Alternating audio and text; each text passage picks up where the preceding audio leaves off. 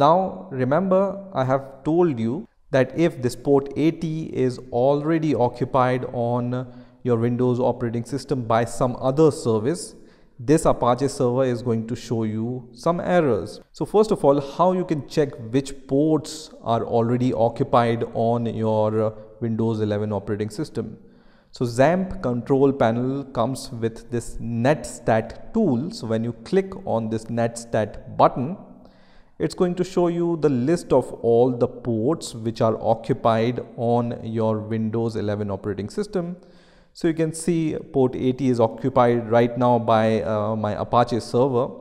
But let's say if it's occupied by some other service, it's also going to show you the name of that service, right?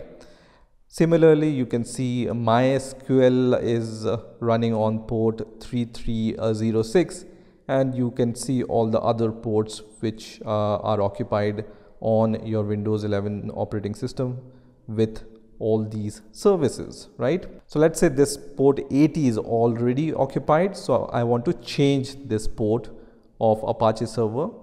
So for changing this port, you just need to stop your Apache server first of all, and then click on config here. So for the configuration, you can choose the first option, which is httpd.conf file. So I'm going to click on the first option which is going to open this kind of file. So on this http.conf file, just scroll down a little until you see this listen keyword, right? So you can see the default port right now is 80. I can change this port to something else. So let's say I want to change this port to port 8080, 8080, right? I can also change this, but it will not uh, change anything because you can see this uh, line is commented right so you need to change this port in order to change the port of your apache server and then just save this file by pressing ctrl s and then you can close this file once that's done you can once again start your apache server so click on the start button and this time you will see that now the port of apache is changed to port 8080 in my case, right? So this is how you can change the port.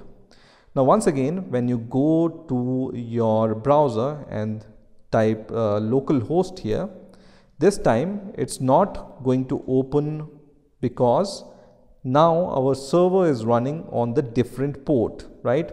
So if the port is 80 on your Windows operating system, you don't need to provide any port information on the browser. But if you change the port from port 80 to some other port, in our case we have changed it to port 8080, I need to add this colon and then add the port number. In my case, it's port 8080 and then press enter and then only it's going to open, right?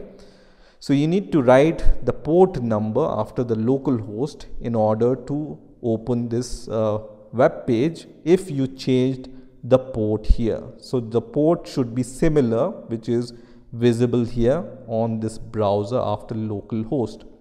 Similarly, this phpMyAdmin is also not going to work, right? Why it's not going to work? Because you guessed it right.